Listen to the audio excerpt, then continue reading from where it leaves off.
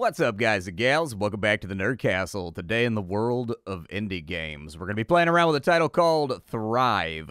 Heavy Lies the Crown. This is a apocalyptic medieval city builder that takes place on one giant map where there's like diplomacy and like other factions that you've got to deal with. I don't know too much about the game. They've got a demo that I've been waiting for actually. I tried to record a demo of it a couple months ago, but the day that I had time to record it, they took the demo down because if it weren't for bad luck.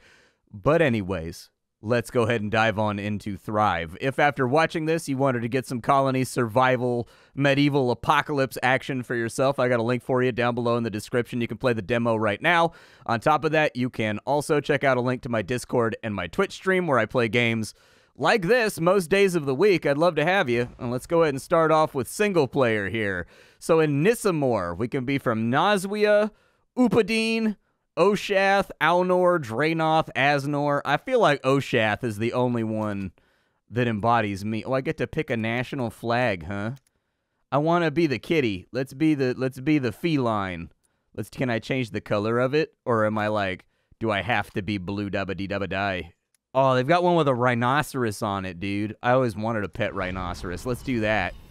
Two months since the fall of Aldamor, since you gathered up the survivors and set forth new, towards a new home. Nissamor is the future, a land free from the terrors of the past. Here you will raise up a new kingdom guided by the loyal advisors who form your Curia. Your advisors are quite knowledgeable, but none can deny their own self interest. Each has a plan for your reign. In the end, you alone must set the tone of your rule. Where do your interests lie? In executing my advisors! That's how I begin. It sounds like they're up to something. Hang 'em all! I guess we will rise with vigilance. I suppose that sounds good. Would I like to play the tutorial? Sure, why not? Let's do a tutorial. So we've got a little caravan right here, and as you can see, this is actually like a greater world map. We can go look at everybody else's stuff if we want to. But for right now, let's take our caravan and turn it into a keep. It looks like we have a nice little chunk of open land over here. So we'll go ahead and give that a go. I don't want to be too close to the main road, just in case invasions come on in. I want them to do like a short walk before they get to me. And so we'll go over here, and this seems like a good enough spot for a caravan, I guess. Let us deploy the keep. The keep, that's not much of a keep. That's just a pile of barrels. Okay. Oh, I see. Okay, the keep is like a separate thing. Oh, look at my little guys over here. Springing into work. Ooh, I like the incremental building. It's definitely got like a 1, 2, 3, 4, 5, 6, 7, 8, 9, 10, 11, 12 like vibe to it. All right, so next we need to build a primitive stockpile. We can find it in the build tab in the farming tab. A wise ruler will also have road networks. Okay. Well, then let us construct forth. Oh, the dirt road hath already been deployed for us. Okay, we'll like run one out that way. And then we'll run one out that way. Doesn't look like they need to actually build the roads a la something like uh, Farthest Frontier. But we do have a primitive stockpile right here. I sort of dig that. How big are houses? Houses are like a 4x4. Okay, so if we do like the stockpile, right, there's room for four right there, but we do one extra for a road. Because this is one of those games where it has that radius where it arbitrarily will be like, oh, people are cranky. They can't get to the stockpile. And so instead of doing it by the roads and the links of them, which to me feels more logical, they've done it this way. Let's get that stockpile up and running, get that thing mashed out, see if it's going to stock our piles in a fashion that we find to be acceptable the piles have been stocked. And so, yeah, I already noticed the area of influence, so I don't think I need too much help there. What you got next for me, champ? Build a logging camp and a quarrier camp. Okay, we don't have any rocks around. We pretty much exclusively have trees. Are those rocks right there? Like, do those count as little rocks? I think they count as little rocks, maybe. Possibly. I can't click on the trees either, so, you know. Uh, let's go ahead and we've got ourselves a food store, farmer house, well, wood chopper. Don't really need that for right now. Oh, the logging camp has a little icon of a tree. Okay, so let's put the logging camp in, I guess, right there. And then the quarriers camp. Hopefully they'll go get some of the rocks off the ground and we can put that right there. Doesn't look like there's a build time on either of those. And it does look like we may be able to manually adjust. Simply click the structure and adjust the slider. Mm, okay. Gotcha. Yeah, let's make that a little bigger then. There we go. Our villagers are now springing into action and are now employed. Next thing it wants me to do is build some food stores. It looks like the food stores will actively line up with what we're already doing over here. So let's just put the food store right there. And then I'll try to mash out some roads while we're in the area. There we go. Let me get a little bit more of that and then we'll have like a thoroughfare of houses right here that go around. Our areas of influence are going to be a little bit overlapped and possibly not work perfectly the way we want them to, but hopefully it'll be okay. Looks like we are officially taking in stone and we are officially taking in logs. However, the transit time is going to be an issue here. I think maybe once we get through with our glut of building, it might be okay, but I was trying to set this up such that well, people would have access to the stockpile once we start building homes, I guess. They're now officially bringing the logs on in. I don't know how many logs it's going to take. 20 of them, I guess. So hopefully we just squeaked by. Looks like they're starting construction. I really like incremental building. I can't help it. I think incremental building is great in games like this. It's one of those little things that gets me excited about a title when they build like the little sticks and the scaffolds and everything else to get things set up. All right. So people need wells in order to keep themselves from, I don't know, having enough water or wanting enough water. Something. We'll put it in. It looks like it has a 4x4 footprint, the same as a house does. So we'll put the well over there. The well is going to take us some stones and some logs. Luckily, it looks like we have most of that stuff stored up already, so it should just rapid fire on over there, and then we should be good, I think. It did indeed rapid fire. So dig deep down into there. and Find that aquifer. You find that thing. It's be very, very important. I have a powerful thirst. I drink a lot of water. All right. I discovered they have these little squirty bottles that put like flavor inside your water. I was already a big water drinker, but I'm going to be honest with you. My water addiction has spiraled out of control now that I have those little flavor squirties you put in there. I always do the one that makes it taste like Tang. Wasser is done. It is producing zero water at the moment.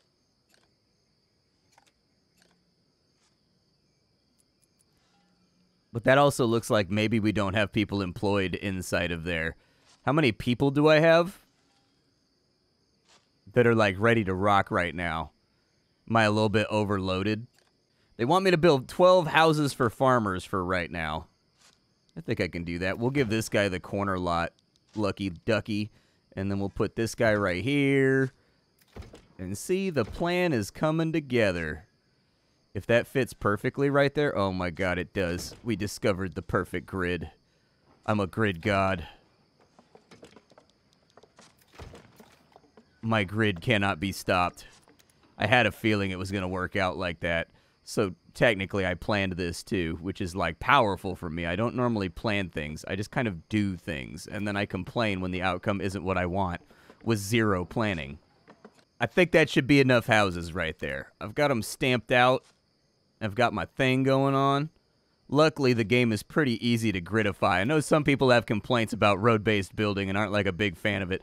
I don't really care. I just think when it comes to stockpiles, I don't like the radius thing. I like it when it looks at the road lengths between areas so that if you built like a good grid, everybody. It just always felt odd to me that this building has a radius, and if there's a guy right here, due to a one meter difference, he's like, nope, can't make it to the stockpile. Taking three more steps is way too difficult for me. I'm like, but this is food. You need that to survive, brother. Like, nope, I'm not going one step further. Not even starvation can compel me. We have a big spooky purple meter up here that says the Walgrim's presence too. From the opening video that they made me watch, it said press escape to cancel, but I had to watch the whole video. It wouldn't cancel.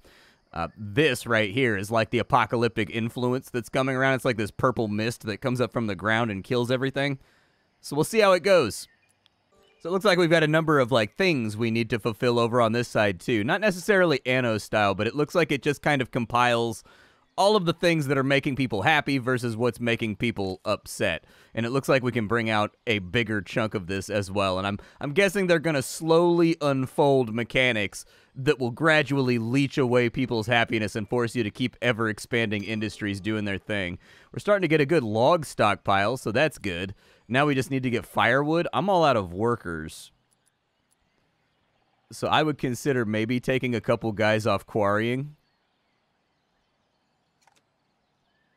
just to make that happen. And then our wood chopper is over here just so we can maybe get some of the basics done. That space is occupied right there, and I don't know if I want that to be occupado. So maybe we won't do that. Maybe we'll put it over there, and we'll just make him go for a little bit longer. Oh, he can't reach the stockpile.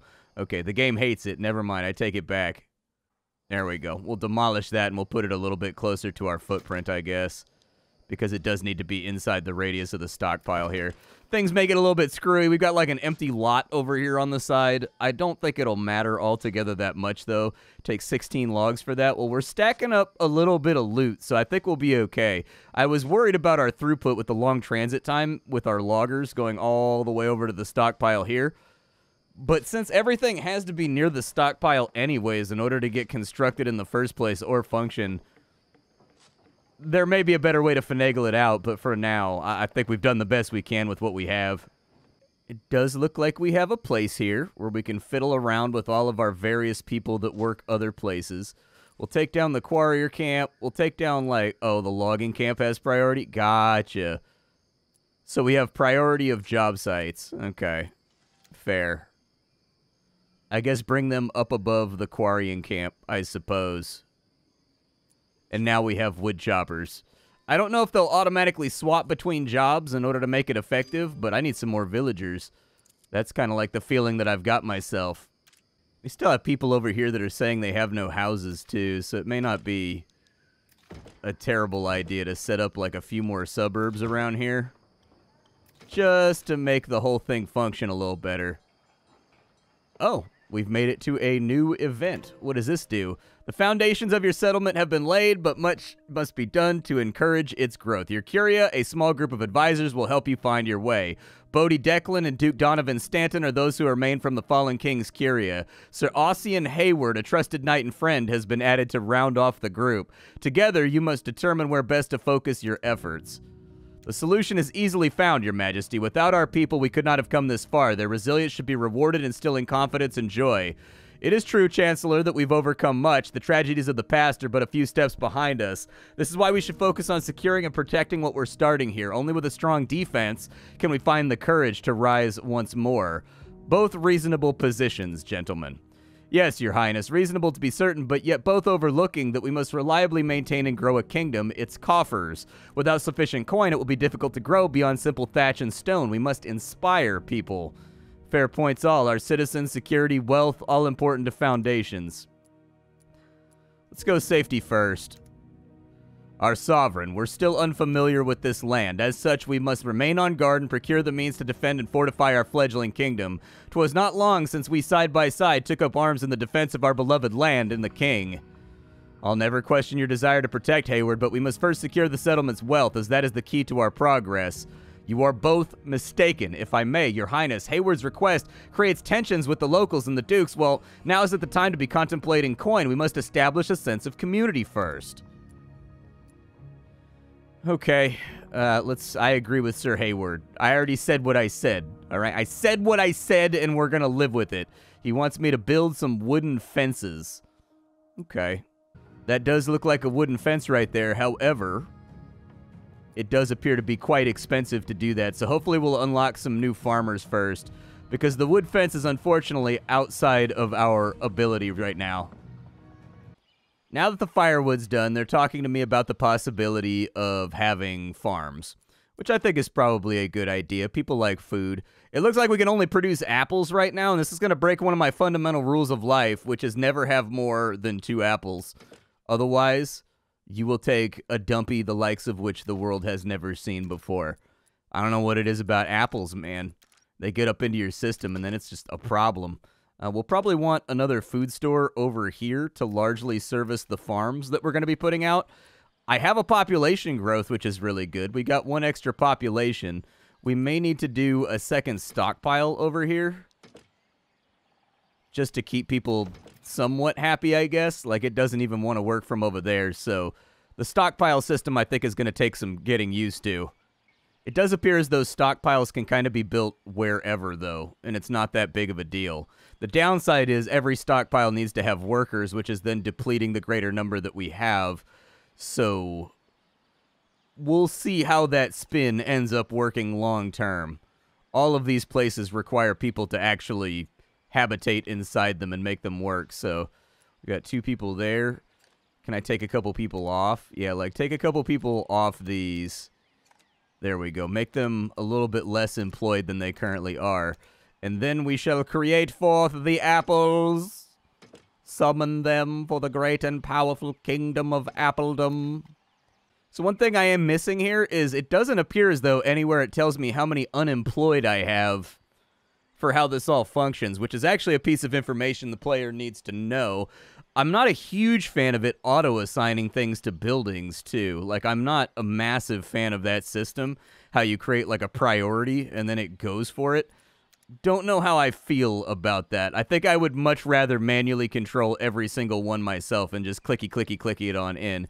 It looks like you can sort of do that, but without access to information about how many unemployed I have, I'm still forced to fall back on this system over here.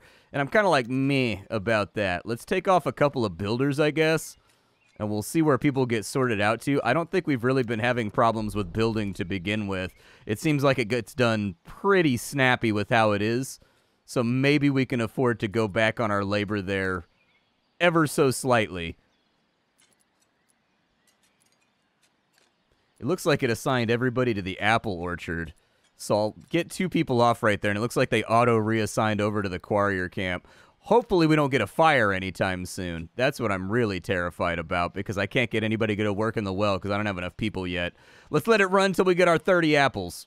So while the apples have been produced, more and more people have moved into our society, so that's good. Uh, we should look to increase our farmer population to 40. Okay, we'll get that done. I'll try to knock that out as fast as possible most of the houses are still mostly unoccupied. So I think the few people that we had around that had the little house icon above their heads, they just take a little while to settle on in. I'll probably try to keep this entire area just for farming. And then we've got a lot of population moving in right now, so that's good. All of our jobs are filled up, and it looks like we have three unemployeds at the moment. That's kind of where I'd like to be. So let's go ahead and repopulate our workforces over here with some of the extra people make sure we don't cruise by the seat of our pants with you know inefficient industries and things spitting things on out and while we wait i kind of wanted to go so like there's a grimrock camp right there so we are going to have combat there are enemies over there has anybody settled any other lands in Wermaxa. Can I go look at their colony? Ooh, I can't. Ooh. Look at you. Look at you. They got three swimming pools? Man, three fountains? Four fountains. They got all kinds of goodies in there. When do I get that sick ass building? I want that over there. My society's looking a little looking a little mangy right now. Oh, by the way, this is all one map. If I wanted to, I could pan all the way back to my city. All the way. Like it's an unbroken map that has no loading zones on it. Which is actually kind of a cool technical accomplishment. We also have a hemp farm over here. Since we have extra people around, I personally don't see a major problem with is getting like a little strip of the we'll get a little little strip of the old weed fields over here to get people going. It makes our clothing, it gives us something to do in our recreation time. It makes the peasants giggly. And when the peasants are giggly, I don't need to worry about them rampaging up to my keep and murdering me with pointy implements in the flame. All right? It's interesting. I don't know if people come in to fill slots when you're getting immigration. So it says we have unoccupied slots. Oh, that one's not ready to go yet, but it doesn't have like the lock on it. Okay, so you only get immigration if you have extra housing, like period. That explains it. I was sitting around just being like, I wonder when I'm going to have immigration. And now I know. And knowing, as G.I. Joe told us, may be at least some fraction of the battle. We'll just kind of like round this out with some roads over here. Make sure everybody's nice and happy. Uh, I already did the hemp farm, so we don't even need to worry about that. But they want me to do an outfitter now to supply clothing. I'd probably say that's a decent enough spot for it. I guess. We'll put it right there. The outfitter will live right in front of my home so that I can have the most beautiful mink coats. Another event has popped. A Wellgrim surge. What does that mean? The food supply has been affected by a mysterious rot. Sir Ossian Hayward brings before you a young man who followed the caravan for nearly the entire trek, careful to keep his distance. He claims that he is an orphan, that the Wellgrim brought illness to his village, which is a stone's throw away from Aldamore's gates. He asks for a place in the new settlement. He looks for a home amongst us, or so he says, and what he says is little, but there is truth in it. The child quivers, a boy, perhaps in his eighth, maybe tenth year, his clothing is caked in mud and dust. Twigs and leaves adorn his shoulder length hair. His eyes are shy, his fleeting glances mixed with sorrow and fear. A brave journey, yet a cautious one. If we wanted to join our settlement, why didn't you speak up as you traveled? Why wait? He cannot find an answer and does not speak. What happened to his family? His village near to Aldamore felt the effects of the decay. It appears his family was lost to it. Only he remains. But are we not certain? I feel certain, your highness. His caution instills doubt. I disagree respectfully. Tis the caution of one who has nothing left and struggles to survive, but refuses to give up. Surely we could find use for him here if someone is... I mean, take him into your home then, Sir Ossian. The boy longs for a fresh start after the turmoil experience. He can work the fields and earn his place. Okay, we will find... I mean, if we're going to be cruel to children, I feel like that sets our kingdom off on, on a bad foot when we're... You can't start out suspicious of eight-year-old children, you know what I mean? Uh, your citizens recognize their struggles and hardships in the boy. They have welcomed him with open arms, with many willing to give him a new home. A kindness that benefits all, as there are now more hands to grow the land. Fair enough. Uh, it looks like our food got cut down pretty strong, so I guess you get a bad event every time this fills up, and it looks like it fills up every six days or so. Yeah, all right. It looks like our stockpiles... Oh, maybe they're not even bringing them over to here. It looks like our stockpiles are linked, so they actually have like Ansible transmission of goods. So as long as you have a network, you should be okay. And like that, the outfitter appears to be supplied from our actually largely growing stockpiles right now. With lots of new people moving in, things appear to be going decently well for the time being. All right, tannery's open. How are we looking on employeds right now? We have 13 unemployed. That's actually really good for us. So they should start producing clothing. And as far as I can tell, when they have access to clothing, they should upgrade or something. It looks like we have different classes of villagers. Like I'm already seeing them use terminology like farmer, laborer, noble, that kind of stuff. And so I'm guessing we're trying to increase tax revenue by making these houses nicer a la Anno, which is fine by me because that's a system that I've always liked. My observations after about 40 minutes of playing the game here, sans edits, are that it's a little bit mechanical and soulless. So they've got the city builder portions on in here, but it's very mechanical. Like your little villagers just, I go here, do this, I go here, I do that. Uh, the buildings aren't broken up at all either. They all have the exact same model, like all of the houses. So there's no randomization in the creation of the houses over here, which means that you are going to get some similar looking sprawl. My advice would to be to kind of add in in my opinion, a little bit more soul, a little bit more personality from what I'm seeing so far because mechanically the game works perfectly fine. It works so mechanically fine that it comes across as mechanical though. And so that would be my main worry as someone that's really big on atmosphere, really big on ambience with games like Frostpunk or whatever. I find that that really ties together a game. And they have this really cool hook when it comes to this fog that's creeping in and kind of stealing people and ruining your supplies and causing problems. And they've got the atmosphere in the opening video when they're describing what the game's going to be. Now it's time to kind of get that in here as well and add a little bit more human personality to the game. People standing around, so your unemployed villagers, they're not being used right now. What if the unemployeds were actually out and about in the village, but they stood on street corners and they talked to each other? You know, what if what if they they stood in front of the stockpile and threw a ball back and forth? What if you know things like that that make the place feel alive? If you have nobody that's idle, fair enough, leave it all mechanical. But we have like 15 people that are unemployed, and so they should be kind of just like idling around the village adding that personality and humanity to the overall thing. Uh, entertainment is key. We want beer, meat, and cider. Yes, we do. I say that wholeheartedly. I love all of those things. All of those things are awesome to me. Do I have any cool spots that I can just slide this on into? It looks like that's inside the coverage zone. Let's try that. And then I'll do a central road that runs up right there, and we'll get the cider going. And then once the cider's all rocked out, it looks like we need a fermenter, so there's like multiple stages uh, to this thing that we must accomplish. And then it said something about a tavern in here. I built two fermenters. That was my bad. There's our big old fermentation barrel right there. A little bit of apple juice, a little bit of sugar. That's all it takes. And so it looks like this guy, is he outside the range? Or is he just not supplied right now? We'll see if he starts producing. He's got an icon right there that's got me a little bit nervous.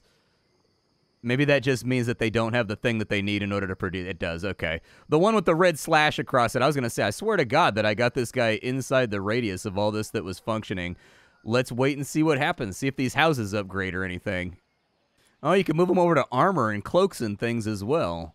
I wonder if the clothing that's available for the individual dictates their actual appearance or if it's just purely job, like if I assign someone to the barracks, which I found down here. We do have the ability to make war. There will be armies or something at some point in the game, which makes sense because some of these places look a little bit threatening. You know, we got barbarians and bandits running around all over the place, causing all kinds of problems. I figure it's only a matter of time before they come knock on the door to meet us. Uh, we should have the stuff to make a wood fence, though, now, which would be kind of cool. I don't know exactly what direction I want to spread in. Understanding the production. Yeah, we've got health and happiness and everything else. Can I get like a gatehouse out here? Is that a thing that we have access to? Maybe I'll just put in a couple of fences over here to start making us safe from the outside. Oh, and it looks like roads have to attach to the fences as well. Okay, we'll throw those things on out there. I don't know if they'll build them, but having the actual walls themselves attached to a road is kind of curious. The walls are now happy. They have been placated with the building of civic infrastructure. It says it wants me to click on a fermenter, and I clicked on the fermenter, but it's not giving me credit for it right now inside the tutorial, so I'm not exactly sure what it wants me to do next here. Clicked on the fermenter, as said, but uh, not sure. Oh, is this ready for like an upgrade? Is that what that means right there? It's got like a little icon above it. So now that we're sitting on top of a whole bunch of lumber, they want me to build a lumber yard where we can start actually planing off planks. I feel okay with that idea. Let's go over here maybe. That sounds good. We'll put them on the road right next to the keep because I love the sound of sawmills in the dark. One of my favorite sounds, in all honesty. There's a gap in my wall right now, and that greatly concerns me.